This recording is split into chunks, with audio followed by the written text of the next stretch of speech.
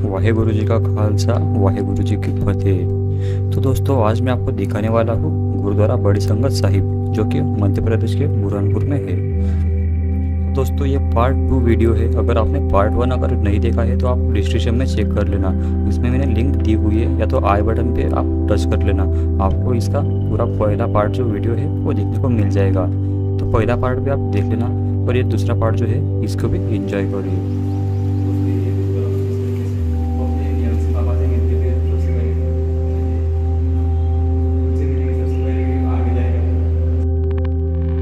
तो दोस्तों, ये है कुछ इस तरीके से गुरुद्वारा और ये है यहाँ से इसका एंट्रेंस यानी कि गुरुद्वारे का गेट यहाँ से आपको आगे जाना होता है गुरुद्वारे में और सामने ये है लंगर हॉल, जहाँ पे आप भोजन कर सकते हो।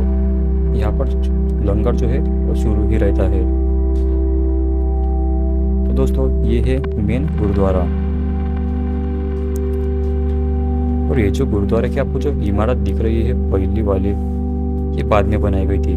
लेकिन गुरुद्वारे के अगर आप पीछे जाते हो तो आपको सबसे पुरानी जो इमारत है गुरुद्वारा, पुराना, वो तीन सौ चार सौ साल पुराना है। उसे आप सबसे पहले देख लेना और वहाँ पे भी गुरु ग्रंथ साहिब के दर्शन कर लेना। बुरहानपुर जो शहर है, यहाँ पर पहले सिख गुरु गुरु नानक देव जी भी आए हुए थे। उन्होंने भी यहाँ पर ट्रैवल किया हुआ था। फिर बाद में दसवें गुरु, श्री गुरु गोविंद सिंह जी महाराज यहाँ पर आए थे। उसी की, उन्हीं की याद में जो है, यहाँ पर यह गुरुद्वारा बनाया हुआ है। और इस गुरुद्वारे में आपको पुरातन काल के जो कई सारे जो हथियार है, शस्त्र है, वो आपको यहाँ पर देखने को मिल जाएँगे।